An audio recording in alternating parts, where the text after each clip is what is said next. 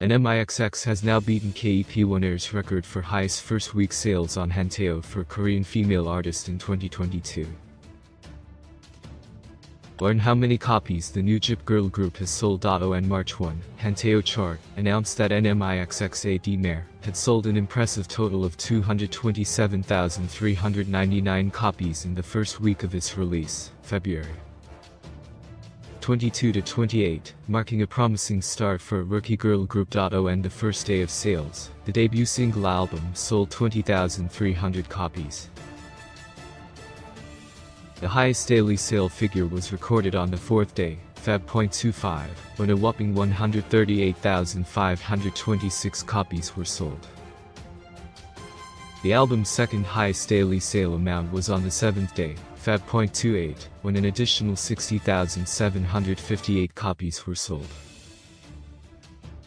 With over 227,000 copies, NMIXX Mare now has the highest first week sales on Hanteo of any Korean female artist that released albums this 2022.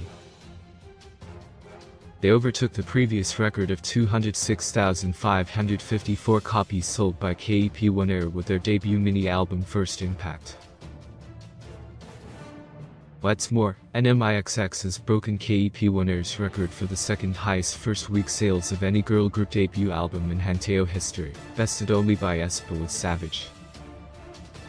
Only four of the girl groups have ever successfully surpassed 100,000 first week sales with their debut album. Blackpink, Square Up 102,001 copies, aespa, Savage 276,877 copies, Kep1er, First Impact, 206,569 copies, and IVE, 11,152,229 copies.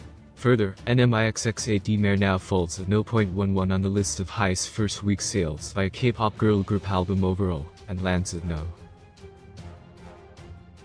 97 on top 100 first week sales of K-pop albums of all time. The debut single album of the new JYP Girl group initially went on sale as a limited edition blind package in July of last year, for a total of 10 days. The agency advertised the package as an exclusive item ahead of releasing details about its new girl group. It can be recalled that a total of 61,667 pre-orders for the blind package were tallied from July 16 to 25. Meanwhile, NMIXX will hold a debut showcase called New Frontier. AD Mare later today, March 1, at 8 p. On and other news, the title track of NMIXX AD Mare, titled OO, is also showing great popularity on Spotify.